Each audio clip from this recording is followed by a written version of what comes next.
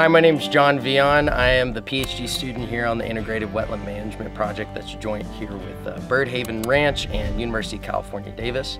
Essentially, my project is looking at better ways to control mosquito populations through more natural wetland management regimes uh, that kind of find a balance between uh, the need for pesticide use, uh, but also uh, keep public health issues at bay. Be sure to tune into yesterday's video where we kind of go over the background of more of the foundational pieces of this work in terms of the wetland management itself. Today, we're really going to look at the downstream benefits that uh, might come out of doing the different types of management regimes that we're trying to employ here at Bird Haven Ranch. So now we're going to go check out a wood duck box. There's a collaboration between my project and uh, the Eadie Lab uh, wood duck project with Tenaya Russell.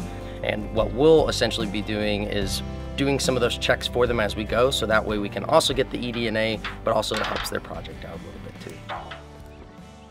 She rattled around a little bit, so she might uh, actually be in there, but we'll see. We'll open up the lid and um, climb up the ladder and poke our heads in there and see if she's inside the nest there.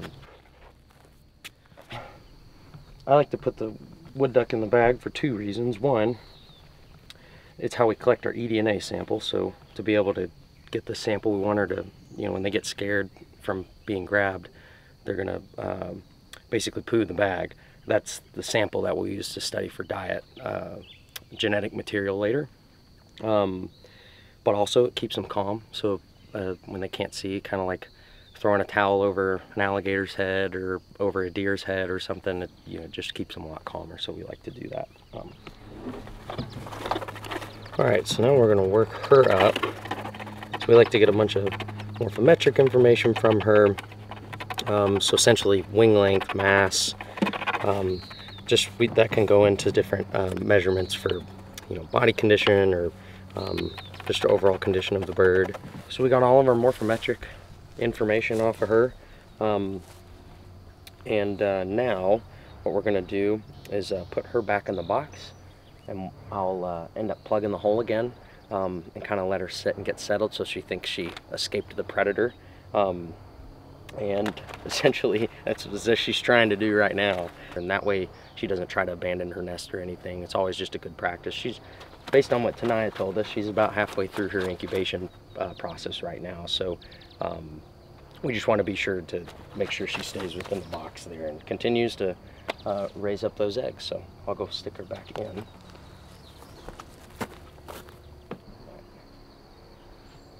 Sometimes that hat makes a great wood duck plug while you're working.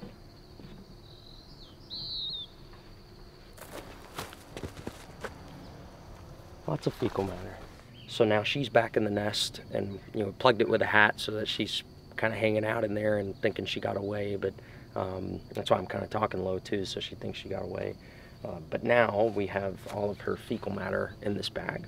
And that's where we collect because it's going to have all the seeds, all the uh, genetic material from bugs that we hopefully can capture with uh, genetic tests.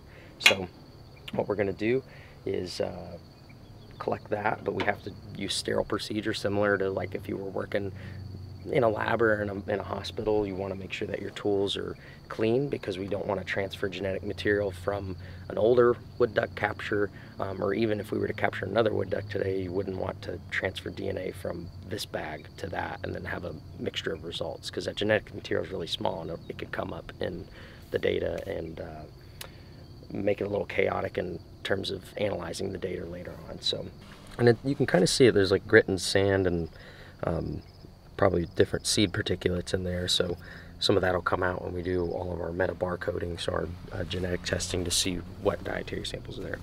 So we use uh, cryogenic tubes, which are basically like these tubes that are safe being frozen up to negative 80 degrees Celsius. And another interesting thing that I'll throw in is that um, thankfully uh, USGS donated uh, a few telemetry devices um, for the project because not only you know, were we curious about what they're eating, we're also curious about when we have water on and off and um, how much habitat fragmentation plays into, um, you know, not only the, the diet of the bird, uh, but also uh, production. So does that force, when we drain a wetland but flood one further away, does that force birds to have to use water that may have more predators in it? Um, but also it gives us a sense of where on the property, how fine scale are ducks feeding when there's water available. Um, is it the unit right next to the box? Uh, and is she taking her ducklings there? Or is it um, a, or is she going all the way to the northern end of the property because there's not much water down here other than the sloughs? So with that, we, we put telemetry devices out. We finally got them all to upload because they will upload via this, or they'll record information via the satellites, uh, but they need uh, a cell tower uh, connection to upload the data to the database. So we finally got all three to upload and we were able to find out that it's not necessarily, their movement isn't fine scale between the units, but it is within the property. Um, and we're able to see when an, some sort of event happens, you'll see that she has a brood based on her movements. And then some, a couple of them actually skipped town, so left the property. Um, so we'll be able to go back later and see was that some sort of predation event or production event or, or, or uh, production issue event uh, where she basically you know had her babies but they didn't survive. Um, we're going to look into accelerometer data and try to convert that back to information that may be able to give us some insight. So that's all pilot work, um, but it's it's really neat to be able to tie the um, the genetic material uh, from the metabarcoding and diet data potentially to the movement data. Um, and we actually have some really good people on the UC Davis campus that work with this data, especially grad students. There's somebody, uh, Mary uh, Badger on campus, works with American Kestrels, uh, and she has some really good insight on uh, genetic diet material and how that can be incorporated into movement data. Um, so it kind of goes, she's going to uh, inform us a little bit on how to do that. So kind of goes to show how different projects and different studies can actually turn out to inform waterfowl management and other waterfowl studies. So we've got all the information on there. So I've got the band number, the species. So we put the four-letter code, which is W-O-D-U. So WODU, that's for um, wood duck. And then we have the date of the collection. And then uh, we have the unit, so South Marsh, and then the box number, number 11. And we'll ultimately be able to relate that back to um, some of our irrigation information. So not only telemetry data, hopefully, um, but we're keeping track down to the minute and hour when water goes on a unit, whether the swale is flooded or not, whether the swale is flooded fully, or whether the unit is full. And then we keep the same information for draining. So when the water goes down back to the swale, or if the water is you know when it, the draining starts and then even when draining is complete. So we're keeping track of that fine scale information through time uh, throughout the entire property to see if there's any trends uh, between the units and some of the diet information.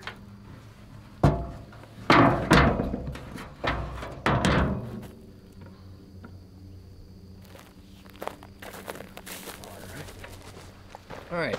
So uh, aside from the wood duck eDNA that we collect, uh, we're also uh, trying to collect some dietary information from flycatchers. So the black phoebe is a bird that actually will nest on the predator guard underneath uh, the wood duck boxes. So what we can do is also get information from an entirely different species of bird and a bird that uses uh, wetlands in a slightly different way. So, you know, a lot of the wood ducks, although they might eat some terrestrial insects, for the most part, they're eating bugs out of the water column.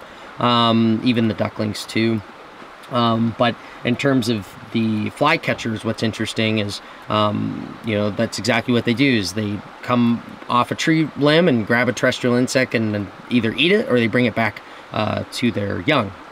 So the idea is that if we're able to collect some uh, fecal matter from around the nest there, uh, making sure it's fresh, we can get some uh, dietary information about the terrestrial insects in and around these wetlands. So if you think about with some of the regimes that we talked about before, um, not only are we generating aquatic insects, um, those some of those aquatic insects are going to emerge into some terrestrial form uh, that can probably serve as a food base for other wetland species other than just waterfowl. Um, and that kind of gets into the integrative wetland management piece um, of not just a duck focus, but um, having benefits to other wetland species.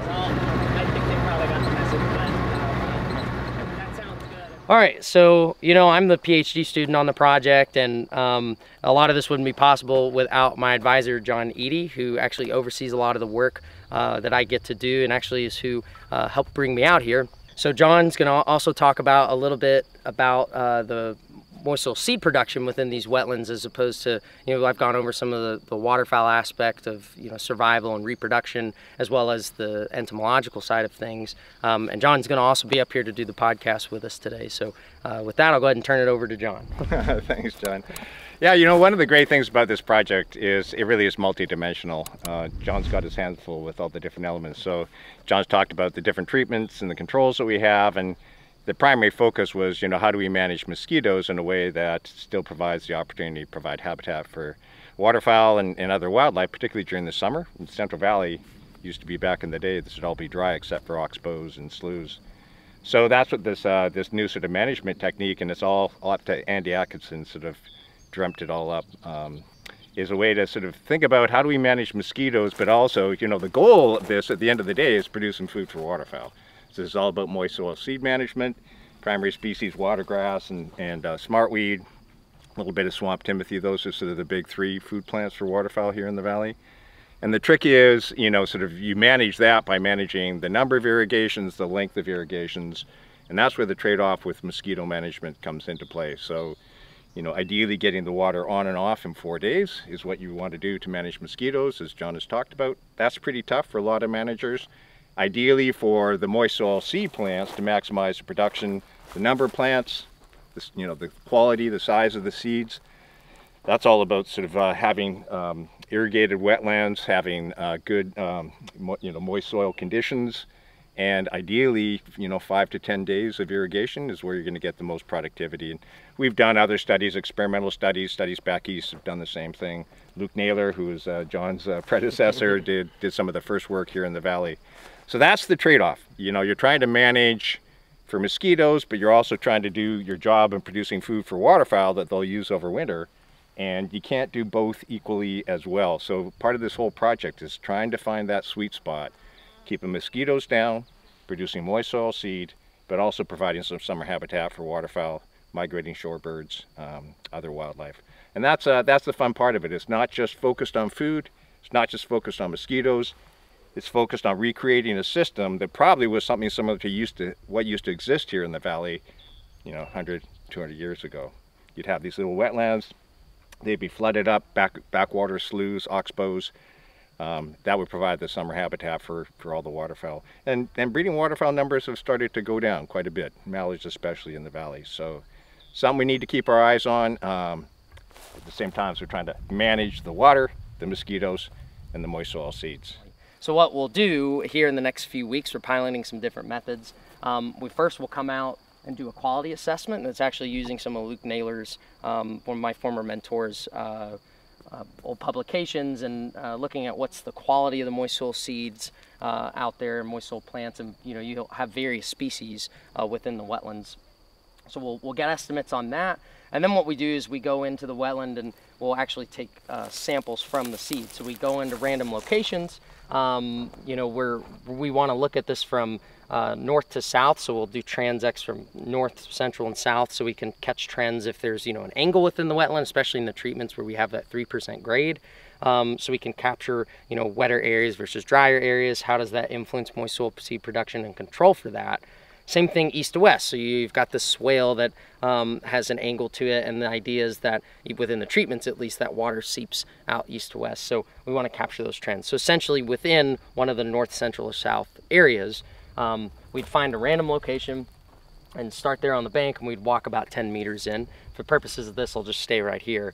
Um, but we would uh, do about five random quadrants um, out from that in different directions. Um, and essentially, we would put that over our plants and we would do an estimate of the percent uh, cover. We would do the percent composition. We'd also do uh, height measurements see how tall the plants are. And then we would, you know, of each species that we can determine or each genus, uh, we'll go in and actually clip about five seed heads from each. Um, we put those in a bag to be later dried out and sorted in the fall uh, with other lab techs um, to attempt to try and get production estimates on the moist soil seeds and then hopefully relate that back to the engineering of the wetland and how that might benefit uh, other waterfowl and wetland birds that use these food resources. Nice thing with these with these seeds too, I mean they're pretty easily sort of assessed in seed heads. Most of the plants we're looking at have these nice seed heads, you know, so with smart, we, you can just imagine how when that dries out, that's a pretty nice food source for, for ducks. Same with watergrass, a little bit of watergrass over here. Not a lot, but you can see when it dries out and, and, uh, and sheds the seeds, you'll get a lot of food for the birds. And that's what they're, they're feeding on. Mallards love this stuff, especially. So that's what you're trying to do is you're trying to maximize in your management the number and the quality of these, these plants. Mm -hmm. The nice thing for John's work is it's easy to assess food availability for a bunch of these plants because you can just clip the seed heads mm -hmm. once they dry off. It's still a bunch of sorting and processing, but uh, you can look at how the different management practices influence seed production. Mm -hmm. And that's the name of the game. I mean, that's what this management's all about uh, at the end of the day is producing food for waterfowl for winter. All right. So yeah, so typically in grad school, um, we all have our own influence. So like Tenaya uh, has works with wood ducks, so she's got the got the wood duck there, and then um, Jackie as well. Jackie uh, works with all sorts of ducks, and I would do her wrong if I didn't say that she's partial to pintails. And then you can see my very mallard centric um, uh, office space, and then with uh, the little wood duck influence after I moved out here to the valley since I've started working with them. Uh, this is where a lot of my work in between my classes. You don't take classes as much as an undergrad, um, but when you do, sometimes you're on campus all day and you may need to do research and collaborate with other people throughout the day, or you might have a bunch of meetings. So it's nice to have the office space because I can work. Um, on my research. And then also, um, if you're teaching, so some grad students do a teaching assistantship, so that's how they get their, their funding. Um, so sometimes you're going to be teaching classes throughout the week and then you uh, may have to have office hours for your students. So this is also a great location to be able to meet with students and um, go over work or if they have any questions and, and, and talk about how they can excel in their classes. So that's just a little insight into, into the Eadie Lab office space. And we named it the Duck Pond because it's so fitting. And now we're here at the aviary that's run by the Eadie Lab, specifically Jackie Satter, one of my lab mates, and also Tenaya Russell, who works with wood ducks here uh, in the Eadie Lab, and they're gonna tell you a little bit about their work here at the University of California, Davis. I've joined the Eadie Lab uh, last year during my undergrad at Davis, um, and I finished up my undergrad and then continued with the lab. And I've been working on the very long-term wood duck project that has been going for um, upwards of 20 years now, uh, since the 90s. And so um, I work at several different field sites and I capture wild ducks in nest boxes and measure them and weigh them um, and ban them so that we know who they are. And then uh, other students in the lab and myself shortly do um, data analysis on that. So there's some social networking project. And then I'll be looking at potential effects of climate change on um, wood ducks and initiation dates and things like that. One of the reasons that my project is going to focus on investigating kind of what um, climate variables or even box microclimate variables might be impacting wood ducks and their nesting is because in the past years, um, Dr. John Eadie, who runs the lab that we're all in, um, has noticed that multiple clutches are just completely failing, especially, especially towards the end of the season. Um, and it seems to be somewhat related to heat. Um, when we have these like extremely hot weeks where it's you know 109 degrees every day, um, that's above physiological temperature, and so um, hypothetically the eggs can't survive that um, and thus they fail. And so my project is kind of going to be collecting the data from all the years and then also using um, large scale like climate data and also box microclimate data to try to investigate that and um, see if we can really focus in on like what factors are the most important. My name is Jackie. Um, I have been here for about six years. I moved to California from Louisiana um, in 2018 to start a master's program that quickly evolved into a PhD answering the duck question as a part of a larger carrying capacity study um, for a really large wetland area in the San Francisco Bay Estuary. Um, I study dabbling ducks and went through this really extensive process of collecting all the different species that co-occur in the area, analyzing their body condition and diets, and then subsequently using our captive aviary to compare all of their niche characteristics to the results that we found in the field to figure out what's contributing to their diet and why, hopefully, over the course of the wintering season. So why do we care about all this? Um, well, it's really important to dive a lot deeper into carrying capacity of an area and figure out all the different mechanisms that ducks are using to distribute food um, besides just the fact that they are different species with different types of bills of different sizes. Um, and there are a lot of other things that contribute to that over time, whether it be shifting nutritional requirements, like the fact that females need to prep for breeding um, differently than males do, or just the fact that the different um, species have different migration times um, and all that kind of lends to how we're managing the landscape, right? How can we best be putting food on the ground to benefit all the species simultaneously, both sexes simultaneously, and throughout the course of the season as evenly as we can. So in terms of just trying to further bridge the gap between waterfowl hunters and waterfowl researchers. Um, there are a lot of things um, coming to fruition slowly over the years. I know these things take time and they take personnel contribution, uh, but it is a really top priority for many of the government institutions that are involved, as well as the academics, to figure out a better way to be reaching managers, waterfowl hunters, the people who are on the ground and really care about this research that we're doing for the ducks. While we don't really have any specific Instagram pages or websites currently. We do have our lab emails, and so if you're interested in our research and you want to connect with us, you're welcome to find those in the description. So here at UC Davis, we have a variety of species, primarily dabbling ducks that have lived here because they're easier to care for in this kind of environment. Um, but we've had the aviary program where hundreds of undergraduate students have gotten to come through and learn about animal husbandry, learn their different duck species, understand how they differ, um, and then we use them for research as well. We've been narrowing down our foraging ecology uh, mechanisms for our greater agent-based modeling system. Um, learning what their the TME values of different types of foods are, and then testing those on the different types of ducks to figure out how those responses change depending on the species, depending on the sexes, and over the course of time. So now we can take a look at some of our duck species we have. So we have some gadwall, um, we have a few cinnamon teal, um, we have our pintail, my personal favorite, and a California staple.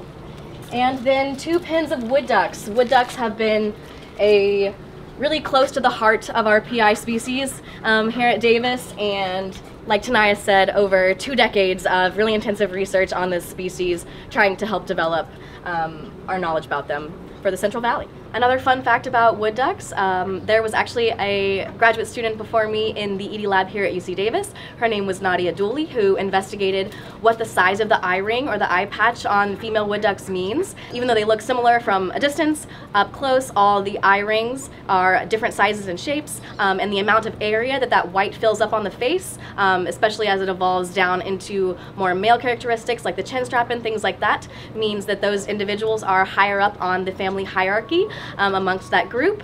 So that may mean um, dominance in terms of priority for mating or in priority for feeding, um, but either way, those females are more dominant to the other females. So you got to hear about Tenaya's wood duck project and all the cool work she's doing, and you also got to hear about Jackie's diet studies with waterfowl and some really cool stuff to be learned from there. You also got to see the aviary and all the ducks that the Eadie Lab has used in the past and uh, the stuff that Jackie gets to oversee here, and that's a part of the University of California, Davis.